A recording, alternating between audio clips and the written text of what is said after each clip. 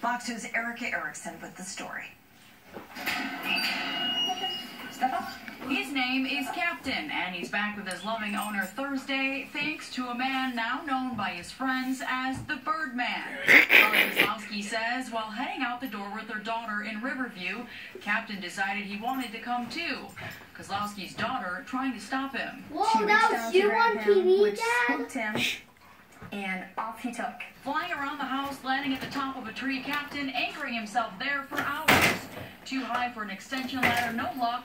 Then Captain trying to get down. He flew out of the tree. He flew around the street several times and uh, grabbed the first thing he could, which was another much larger tree. Getting darker and colder, Kozlowski says Captain kept getting scared, calling for her.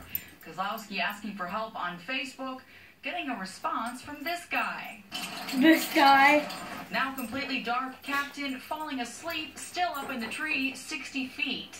He looked at the tree and he put on his climbing gear and up the tree he went. A lot of times I'll wear hooks to make it easier in my saddle and rope and just go climb the tree. Calling for Captain, John Sweda says the macaw still stubborn and scared. At first he was had his back to me and he wasn't coming my way. But after 30 minutes of coaxing the macaw, Put my arm up there and he just kind of crawled up and I thought he was going to be up here, but he kind of was down a little further, so I just kind of hunched down.